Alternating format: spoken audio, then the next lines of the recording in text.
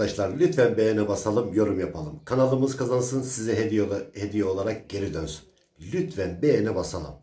Emeğimize saygı duyaraktan bir şey istemiyoruz. Bir beğeni, iki yorum. Teşekkür ediyorum. Arkadaşlar, uz solunum yolu rahatsızlıkları bronşite çevirmiş hali. Kurtulmak için muhakkak aşı kullanmalısınız. Bronşite çevirdiği zaman ilaçla giderilmesi mümkün değildir. Aşı veterinerden alınır. Soğuk zincirde satılır. Lütfen veterinere gitmekten korkmayınız. Veterinerde bronşit aşısı, çiçek aşısı, salmonella E. coli aşısı, veba aşısı bulunmaktadır. Her 6 ayda bir düzenli yapabilirsiniz. Ama unutmayınız her yaptığınız aşının arasında muhakkak 20 gün olmalıdır. Örneğin bronşit aşısı yaptınız. 20 gün sonra yine sağlıklı kuşlara çiçek aşısı, veba aşısı yapabilirsiniz. Sindirim ve sinir sistemlerini bozar. Kullanmanız gereken aşı nasıl kullanılacağını detaylı anlatacağım size. Sinir sistemi çökertir, sindirim sistemini de çökertir uz solunum yolu rahatsızlığı olarak ortaya çıkar. Hızlı hızlı nefes alma, sanki 10 kilometre koşmuş gibi bu yavruda da anaçta da bu şekilde gözükebilir. İlerlemiş halidir nefes darlığının uz solunum CRD dediğimiz hastalıktan sonra ilerlemiş halidir. Bronşit. Onun için aşı yapılmalı. Sık sık nefes alma, hızlı nefes alma, öksürük, hapşırık olarak kendini gösterir. Aşılar %100 koruma değildir arkadaşlar. İnsanlar için üretilen örneğin kışın grip aşısı 100 kişiden 65'ini gripten korur. Her 35 kişi gribe yakalanır yine. 100 kişiden 95'i gribal enfeksiyonlardan dolayı ölümden korur. 5 kişi ölebilir. Aşıları değerlendirirken böyle değerlendirin. Kronik bronşit aşılı, e, hastalıkları da yalancı veba diye de adlandırılır. Hızlı gelir, ölümle sonuçlanır. Aşı suya konularak verilir. Biraz sonra size nasıl uygulandığını göstereceğim. Çok basit. Yalnız akşamdan kuşların suyunu alın. Örneğin 3 litrelik su kabınız var. 3 litreyi su doldurun. 5 litrelik 5 litreyi doldurun. Eğer kuşlar 100 litre içiyorsa 100 litreye. Çünkü bu aşı ne kadar suya koyarsanız koyun bir anda o kadar çoğalıyor. Yani iyi huylu bakteri üretiyor. Suda yayılıyor, milyonlarca üretiyor. Ama sonuç itibariyle 2 saat yaşıyor aşı. 2 saatten sonra kuşlara içti mi daha aşı almaz. Ama 2 saat boyunca ne içerse o aşıyı almış alır, vücutta da çoğulur, koruma yapar. Onun için akşamdan suyu alın. Sabahtan birazdan uygulamasını göstereceğim aşıyı suya koyun. 2 saat o sudan içsinler. Tavuklarınıza verin. Kediye köpeğe de verin o sudan. Hiç fark etmez. Bu şekilde uygulayabilirsiniz gösteriyorum.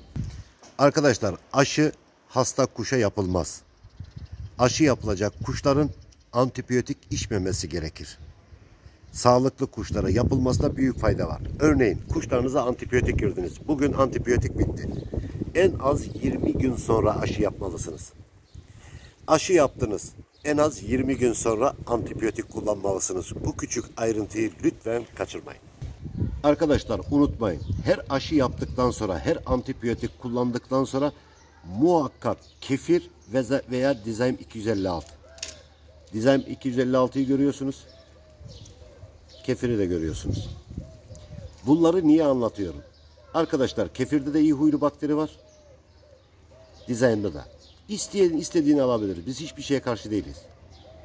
Bunları kullanabilirsiniz.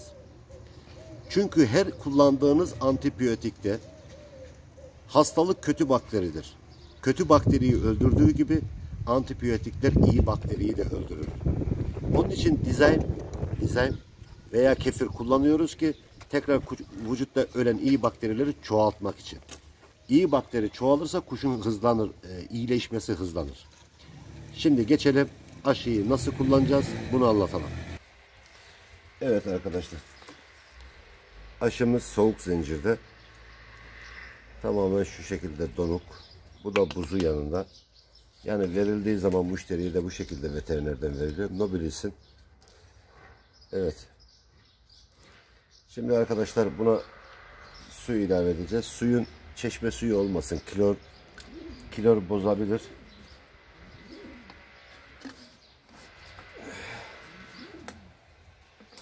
Suyun miktarı önemli değil arkadaşlar. İsterse 5 litre, isterse 50 litre olsun. Bu aşımız, bu suyumuz. Evet. Suyu içeriye enjekte ediyoruz. Sonra çalkalamaya başlıyoruz. İsterseniz 100 litre suya katın.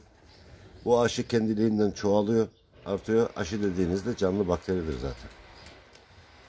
Evet, böyle erittikten sonra enjektöre çekeceğiz. Suyumuza katıp 2 saat kuşların önünde durduğu zaman 2 saat ne içiyorlarsa akşamdan ben kuşları da susuz bıraktım. Şimdi 2 saat boyunca önlerinde duracak. Evet.